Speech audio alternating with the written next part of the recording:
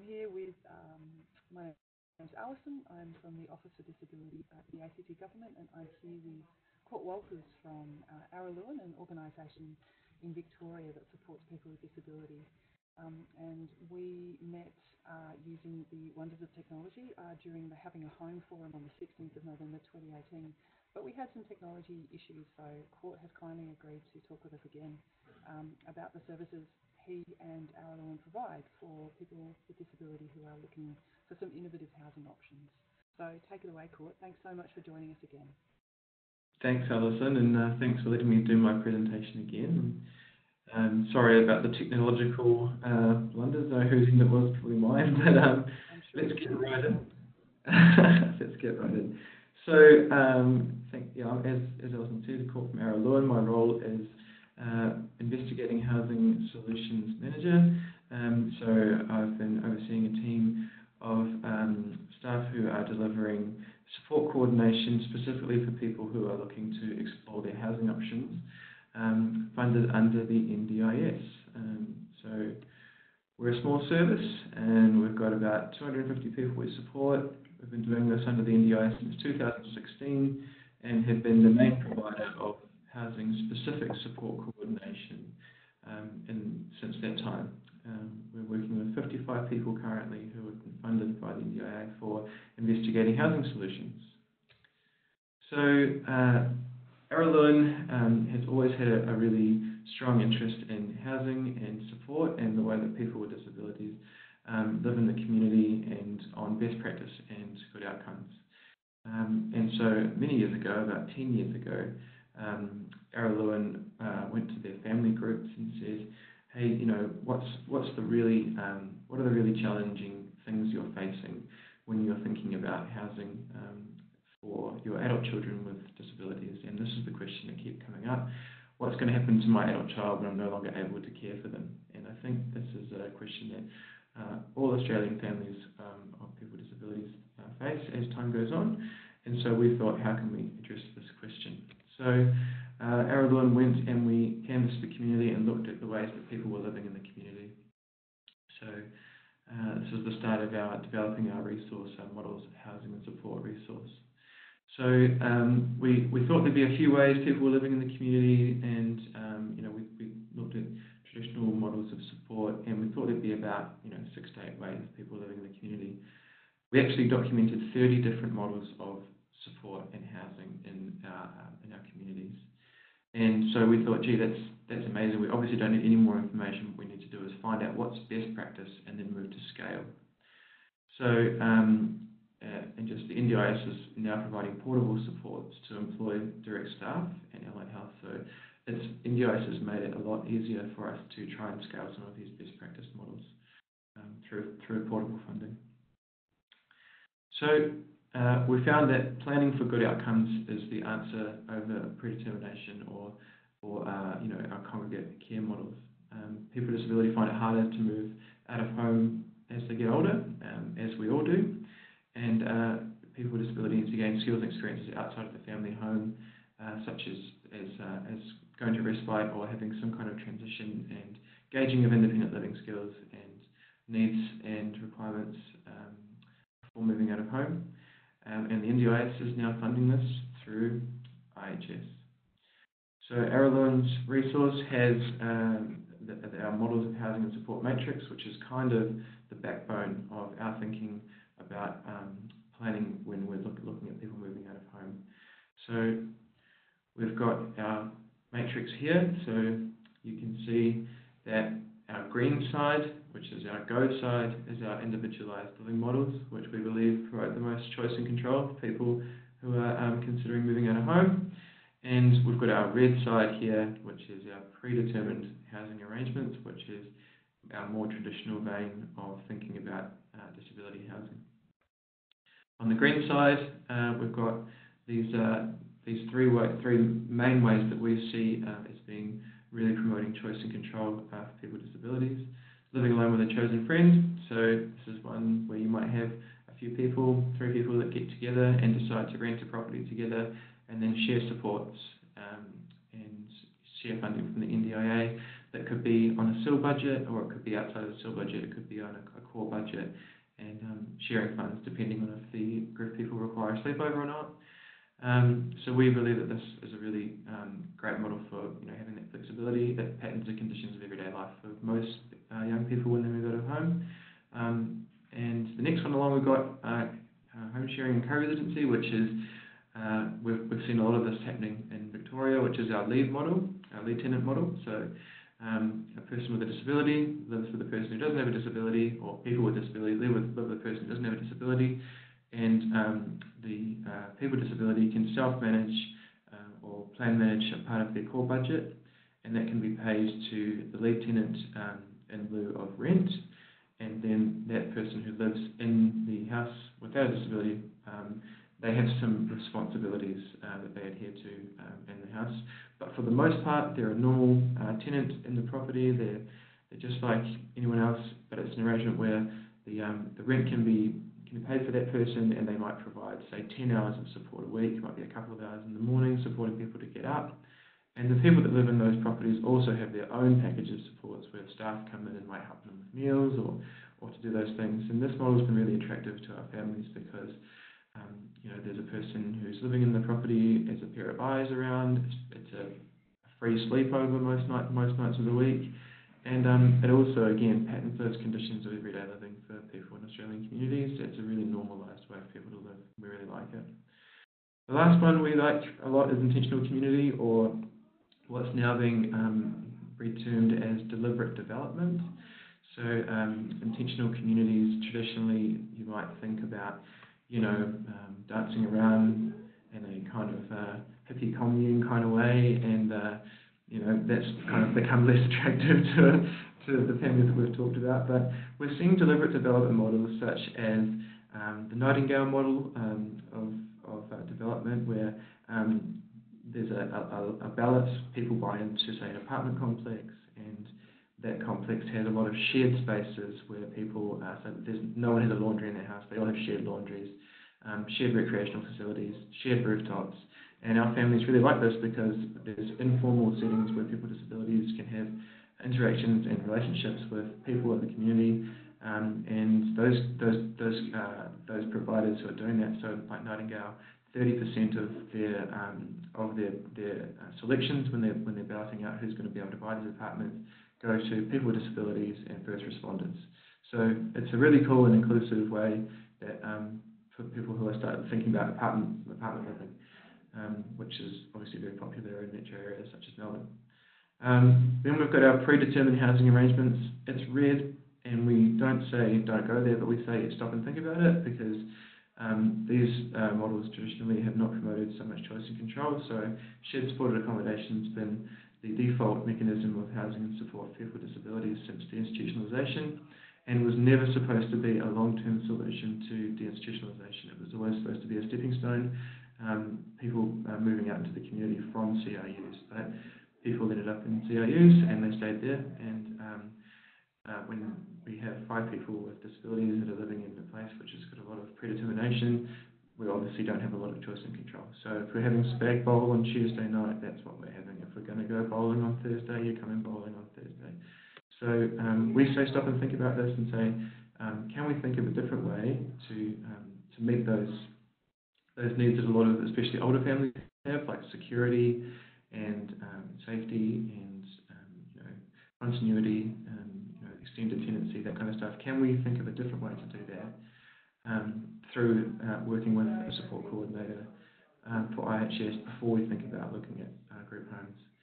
And large-scale housing projects, we know the NDIS is moving away from these in a big way. Um, even legacy stock SDAs are going to be um, removed from the pricing tables within the next five years. So um, we, we don't like the idea of um, any kind of congregational segregation of people with disabilities, and it's, there's a lot of different ways people still um, do large-scale housing projects in ways that are, are, trying to be innovative, but we say let's first think about those those um, those planning processes around uh, choice and control. So what is IHS?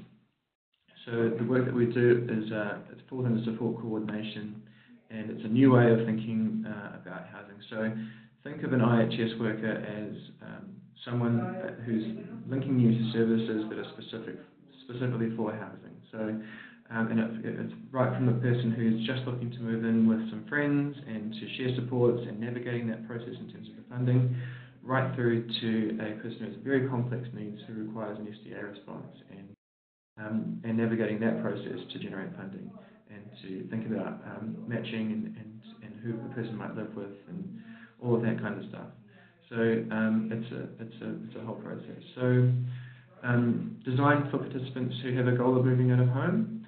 So um, I think I go on to, to the next slide, but you, you've got to have one of your first two goals as to move out of home within the plan period, or to do some really comprehensive exploration of what your housing options are in the plan period. So if you want to have this funded, um, you make sure it's one of your first two goals. Um, working from strengths and closely with families. So we, we, we sit down with our families and participants and say, you know, where do you where would you guys like to, to see yourselves in, in the future and, and how, how can we support you to get there and we can um, then uh, use our um, allied health funding to see what's actually possible because that's going to determine, determine what the NDIA is going to fund. So it's about a 70-30 split of uh, actually investigating uh, and working in the background to about 30% of actually participant face time. Um, we work in um, in conjunction with regular support coordinators quite a lot as well because um, if a person does move out of home, then obviously the rest of their plan is going to be affected in, in, in the direction of what the funding is being used for. Um, so I talked about that uh, in the plan.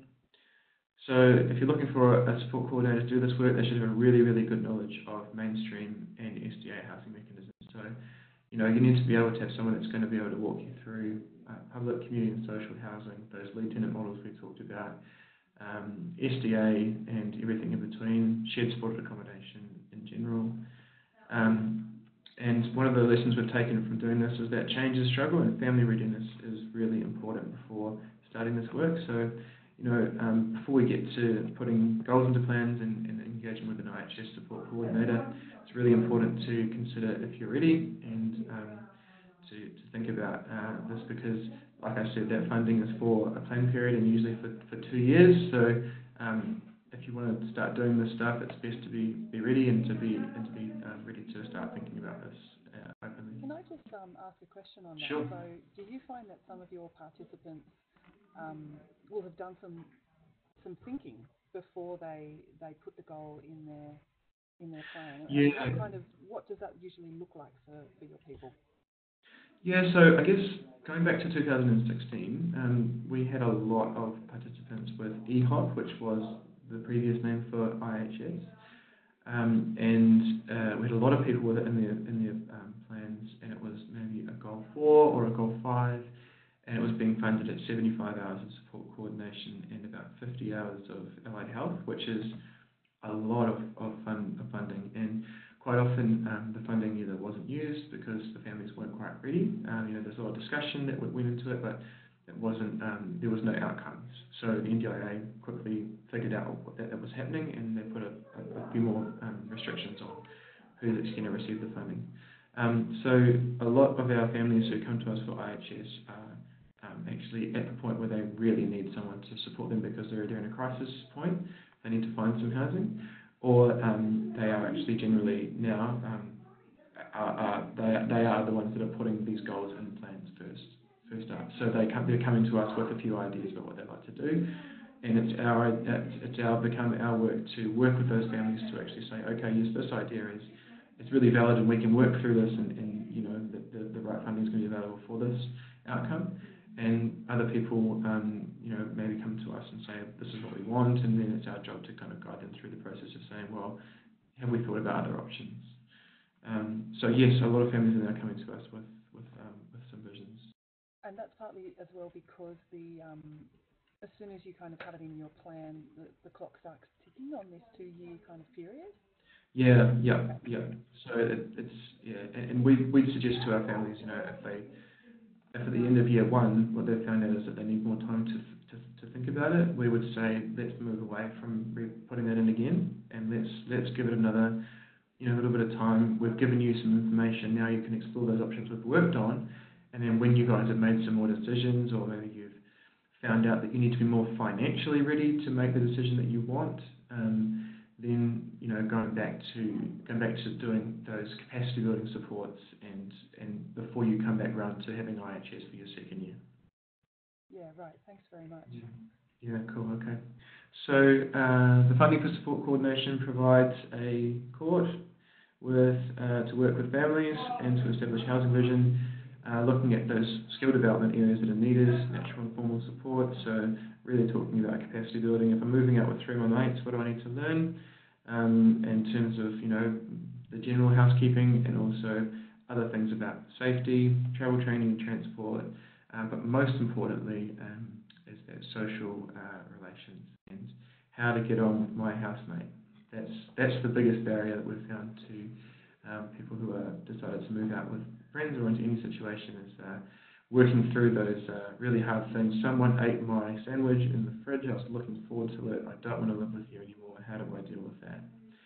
Sounds like my experience when I first started share housing as well. Probably. Uh, yeah, yes, yeah, typical for a lot of us. But I think when you um, disability, sometimes it can be very, um, very, uh, you know, compounding. Um, especially, you know, sometimes especially if you've lived at home all your life and mum and dad have done maybe quite a bit of stuff for you. Um, it can be quite challenging when you are in a property where you're not the, the only person who's who's there. Um, so we work through those things and we have some um, some really uh, you know, detailed um, stuff with role plays and that kind of stuff that we work through with our guys on um, on dealing with confrontation. Um, support coordinator will prepare a plan for SDA eligibility testing if required, so that's our role as well, which has become my main body of work. Um, the OT stuff, um, which is uh, funded for the uh, specialist therapy, so um, OT, comms, behaviour, psych, mobility. So all of these assessments are going to be used to build a picture of what will be funded by the NDIA towards your housing outcome. So um, in the hierarchy of reasonable necessary supports. Your your assistive technology, sorry, your um, your um, allied health reporting is the is the, the very top um, when considering reasonable necessary. Then the participant voice, then the family voice, and then the support coordinator voice. So we we rely heavily on um, those uh, specialist therapist reports um, to generate funding outcomes for specific housing visions. Um, and also we use the, these hours uh, for those intensive skill development things or all these all these tools for you know assistive technology or those kind of things that can be used to help a person to be more independent. Um, so we're talking about SDA and IHS. So uh, like I said before, previously called EHOP and EHO, now IHS. Um, and then I always say this, but Araluen put the EHOP to print. It was a large mistake because uh, it changes regularly, it seems. Um, there's been a perception in Victoria and Australia-wide that the funding no longer exists. It does exist, um, and it's still definitely available.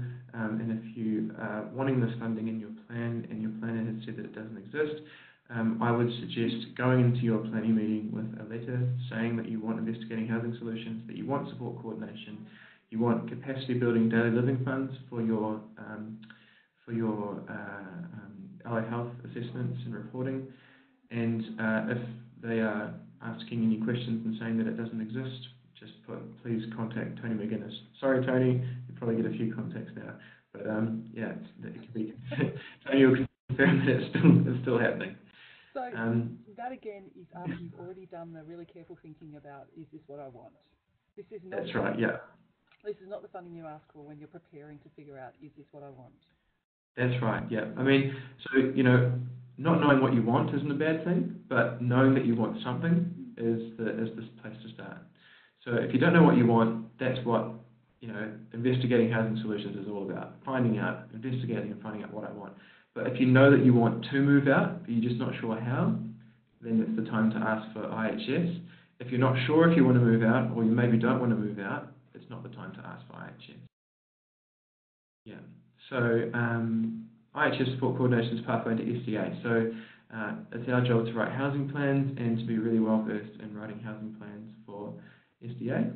But it's not only the pathway to SDA. It might be the pathway to other housing options too. Absolutely, that's Yeah. right. That's right. So yeah, as I said before, it's it's from uh, the IHS work goes from if you want to move out with your mate or you want to move out by yourself and need to navigate that, then that the IHS as program is, is perfect for you. If you have a very complex disability and you want to find out what your options are in terms of the SDA world, then that's our, our job as well to work with you and, and, and your, your multidisciplinary team to define the right kind of SDA and then to go about um, you know answering those stipulations of the SDA rule to generate an SDA response if it is uh, required. So yeah, some key learnings we've had from doing this work around SDA in particular. Families assume their adult child will be eligible for a group home by default if they're on the DSR. So we get this most of the time. We get a request from a family, it'll drop into my uh, message bank or I'll get a call or an email and it will be, um, hi court, I want, I wasn't, I was on the DSR, I need to move into a group home, um, I'm eligible, so please let's get it going. I want to find out how I can get into a group And home.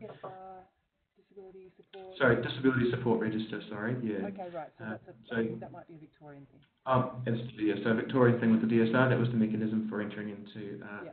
entering into into group homes. Um, and so yeah, now we've had to tell families, hey, look, SDA is for six percent of people, or that that concludes all SDA, and in Victoria, our group homes are classed as specialist disability accommodation. So um, participants are eligible for SIL and not SDA are facing facing a housing, afford- housing affordability issue just like the rest of us.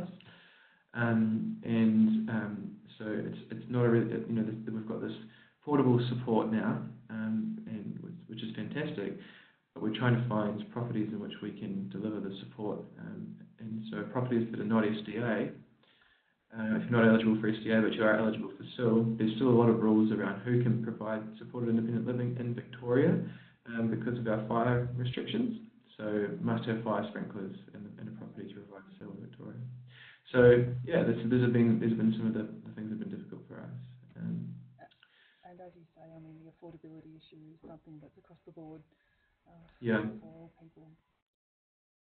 Yeah, yeah, yeah. And even, you know, even when we're considering um, you know, private rentals, if you're on a disability support pension and you want to live by yourself, well, you know, that's probably not going to happen unless you, you know, found somewhere that's very affordable and that may not be in a location that's going to promote your independence.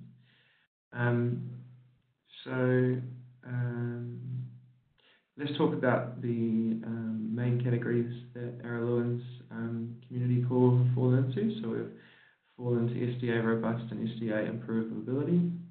So the things that we've learned about um, improved livability so far is it's very hard to prove in our plans that a person requires the elements specified by the NDIA. So um, there's uh, in the in the SDA pricing guide and payments guide um, the the indicators that uh, a person requires improved livability would be that they require um, improved wayfinding, uh, direct lines of sight for, for, for key staff, uh, luminance contrast for people with sensory or um, sensory needs. Um, and it's really, really hard to prove that those are going to be able to be provided in an SDA and an SDA only, and that they couldn't be provided in a standard house. So um, in all of the um, cases, apart the, in all of the new build cases that I've worked on, the NDIA has turned down the uh, SDA request because of that. But when those have gone to the Administrative Appeals Tribunal, uh, both times have been successful in getting that funded for new builds. So um, yeah, it's, it's it's it's interesting, and uh, I believe that this is going to be looked at by the um, NDIA, um, and uh, that this has been definitely reported on in a recent KPMG review. Um, so uh, the next part we work that is robust quite often as well for our participants. Um, and some good news is that we're receiving eligibility for SDA at the robust level in plans now, which we hadn't in the past, but submitted quite a few. And uh, it was around um, not uh, showing that the housing options had been fully explored, um, when of course if you've got an extremely complex um, disability which results in behaviours of concern and property damage and harm to others, it's pretty much impossible for you to go and explore other housing options or to even try to have a look at what's out there when you know, um, you're kind of naturally excluded from doing that by your behaviours. So we are now seeing eligibility for robust at 1 to 1 and 1 to 2 ratios. So thanks NDIA, it's, it's great. Um, so some barriers to SDA, allied health professionals are underskilled in writing specific SDA specific reports. So this has been a really big one for us. So um, I've had to actually work with providers to help them understand and to develop templates for writing SDA reports and to look at the rule and to answer parts of the rule. It is an absolute nightmare to try and write a housing plan which answers the rule if you haven't got a really, really good OT report which is being written to the rule and, and the, the, the author understands the rule and is um, writing in a way that you can easily quote without having to dig through and try and pull sections out of a report to try and fit suit. So having an allied professional on site, who allied health professional on site as an OT or a psych that understands the rule, understands the SDA, and understands what you're trying to get from them is really important. Um, and not, there's not a whole lot of those around. It sounds like you're fluent in the rule. Uh, yeah. yeah, wow. So you read it over and over, and um, yeah, yep. you prepare your report really uh, kind of point to point against the rule. Is that? Yep. So you write it as as you would frame any legal kind of reporting. You don't give any room for them to say no.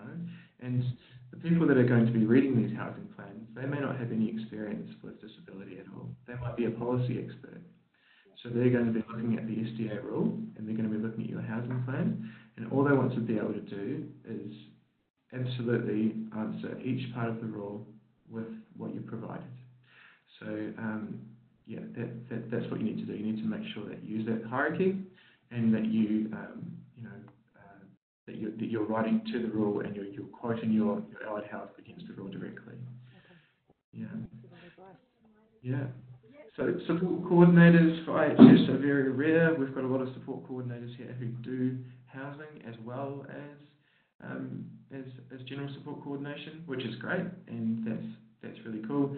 Um, but up until now, we've had a real um, lack of plans being um, approved for SDA, and I, it's my belief that you, you, you could you could have two teams as Araluen does. One does support coordination and one does IHS, but um, you, you, really, as, an, as a support coordinator, dedicating to a housing outcome is really important, and um, especially if you're considering SDA. Um, Timeframes on eligibility results from NDIA can vary. It's improving, yeah. So it used to be between four and six months, and now we're seeing between two and four months, which is an improvement. It's great. Yeah. So, writing housing plans. Um, and here's, uh, again, I've talked about the hierarchy of reasonable necessary. So, um, you know, quoting your allied health first. And then what I like to do is I like to, um, as, as often as I can, quote from the allied health um, and then uh, back that up with a direct quote from the participant. So having the participant voice uh, mirroring or adding to um, what the allied health has been saying. So, for example, you might talk about if a person was looking to exit residential aged care, you might have a statement about the person's function and how it's been uh, not been able to um, be maintained or improved in, in residential aged care and how an SDA response is the right response, and then a statement from the participant in their own words about how living in residential aged care has affected their function. And um, that can be quite a compelling argument um, for when you're writing a plan against the rule. Um, so there's no, no formal training for allied health. I've just talked about this. So it might be your role to actually talk to your OT or your psych about SDA and about the rule and about what you're actually wanting them to to um, frame their, their thinking around. Uh, don't work the rule from start to finish. Build the sections of strong evidence from the allied health first. This is really important. Uh, it can be very frustrating. Uh, I started off my reporting and just looking at the rule and saying, and just slogging through, but I found that I was able to work it um, in my strongest sections first, kind of like doing an. Um, yeah, so our role as support coordinators is in uh, the detail. It's making the report about a person. So your your role as the author of a housing plan is to show colour of the person's life and how the SDA response is going to have this fantastic um, outcome. And it's not about you know, your your boring stuff and your functional stuff. That leave that to the allied health. It's your your role to make this person shine and to show them how um, this funding could change their life forever. Um, and I've just said that again in a different way just there. We're not advocates. This is really important as well. A lot of support coordinators get really tied down in this dual role of being a support coordinator and an advocate. And first of all, it's it's it's uh, it's it's not is it illegal? I don't know if it's illegal, but it's against the policy. So the NDIA has been very clear about this. Uh, support coordinators are not to act as advocates. And why would you want to? Your job is stressful enough. Um, without trying to be an advocate as well. Link to the right services. Look for you know your local advocacy and um, and link to that service. That's the, the goal of support coordination is to link to service. So um, yeah, th- this is a really challenging uh, journey, SDA, for, for people um, who are setting out their SDA journeys. Um, it's telling your story again. It's dredging up all of the really hard stuff, especially if you're talking about a person with behaviours of concern how that may be impacting on the family life. Um, it's it's uh, um, it, can, it, can, be really really really challenging. So referring to counselling and support services for your participants and the families that surround them and all the natural supports is really important at this time. Um, otherwise, again, sometimes you can actually be um, the, the bearer of a few of those uh, burdens as well. So yeah, refer to service. So, um, Alison, I know that you had some questions that you had posted for me um, last time. I have written some of them here, but did you want to just kind of bring the ones up you had and ask all of them because we've got a bit more time now, or do yeah, sure. And, and, we have covered some of them already. So okay, cool. We talked okay. before about your role, uh, whether it always involves having to apply for SDA, but but your experience okay. that no, that, that it's um, a range of housing options. Absolutely, yeah and uh, the amount of time that you have to work with people. Okay, cool. So maybe we'll just work through these ones. Yeah. So yeah, thanks. Um, so yeah, it's cool. Yeah. So uh, how much time did you work with people on housing options? So um, it's typically for an SDA if a, if a person has um, you know quite um, obviously got a very significant disability and the planner thinks that they might be a candidate for SDA, um, the um, planner will put it up to uh, to 100 hours, but typically between 50 and 75. Um, and to, to look at um, getting that housing plan together, working with those therapists, um, and it might be from the ground up to actually educate them around the SDA rule, which can take a lot of time, um, and then to have revisions of the material as well before you're starting to write your plan. Um, so I think for a person who's looking to move out with their mates, um, you might ask for 50 hours or something like that, and then for an SDA between 50 to 75 is usually around how much time we have. Um, and you know, because it can be across two plans, um, you know, the first year can be really exploring, and the second year can be really drilling down. And you've done a lot of that background in the first year, and the second year might be actually supporting the people to, um, you know, really look at, at the at the options. Who's the real estate agent that's going to understand me and my disability the best? how can I talk to a landlord, which is another thing we do. We do a rental readiness pack for those renters around um, why people with disability are actually the best tenants in the world. Um, because typically, and not always, but typically, you know, don't smoke, don't drink, aren't going to be playing music at midnight every night of the week, and um, you know, have staff that come and support them to do domestic duties and cleaning, rent's paid on time from a pension every time. This, this is this is to a landlord. This is amazing. This is yeah, like fantastic. How could you want a better? How could you ask for a better tenant? Um, and I say typically because I, I know a lot of the guys that I do work with, they like to turn the music up at midnight. So it's, not, it's not a one size fits all sort of thing. So, um, but that's all good. Um, so have uh, spent looking at uh, so yeah, there is a bit of there is flexibility. Um, so you know, um, I think. I think the question was really trying to get at, um, and you, I feel like you've answered it in that that this is this, this is something that takes up all your time. You know, like yeah, it yeah. does really take a great deal of time to kind of get this stuff happening. Yeah. Working yeah, with yeah. our client base, um, it's certainly yeah. Yeah, absolutely. Yeah, and it is like we, we, we live and breathe the housing part, um, but we you know as we we've done a lot of this work and we've we've actually um, you know spent a lot of time talking to different providers and different organisations about you know how we can get people involved with what they're doing in terms of engaging their independence or looking for property or all that kind of stuff. Um, we find that when general support coordinators have, have questions about these kind of things, we can just ask them and help, and I suppose that's a, that's another bonus to, to the role. People that may not be specifically looking for housing, but might need a little bit of information about their current arrangement, um, we can we can help with that. Yeah. Um, some of the most innovative and positive housing solutions we've seen. Um, so yeah, that that um, you know we've we've done a lot of work recently with a provider who's um, had uh, 10 people who are SDA eligible moving into an apartment complex. And so um, we're overseeing the transition for all of those 10 people to move into these um, these new high physical support apartments. And um, they're just amazing apartments, you know, just the level of sophistication and the technology and the amount of uh, reduction of face-to-face support that can be had in those environments is, is fantastic and amazing, and the amount of choice and control is, is really cool. And when you talk about 10 people, um, that sounds like the kind of apartment block where there are maybe 100 people there and it's one person per floor, so it's not talking about a. a that's right. Absolutely. Yeah. That's right. Yeah. So I wouldn't. I would, that's congregate living, and we don't do that. That's in our red side. Yeah. Yeah. Yeah. So um, we're talking about the salt and pepper model those apartments. So yeah, there's, there's people with disabilities spread throughout the complex, and um, yeah, and having these, these really great um, uh, you know high high tech apartments that can really engage a person who may have been living in residential aged care for the last 10 years, and now they're you know from the, from the 30, 30 to 40, and they're, they're 40 and moving into this situation for the first time, having this really amazing uh, you know um, potential and stuff. So, and in metro areas, you know, so um, really cool.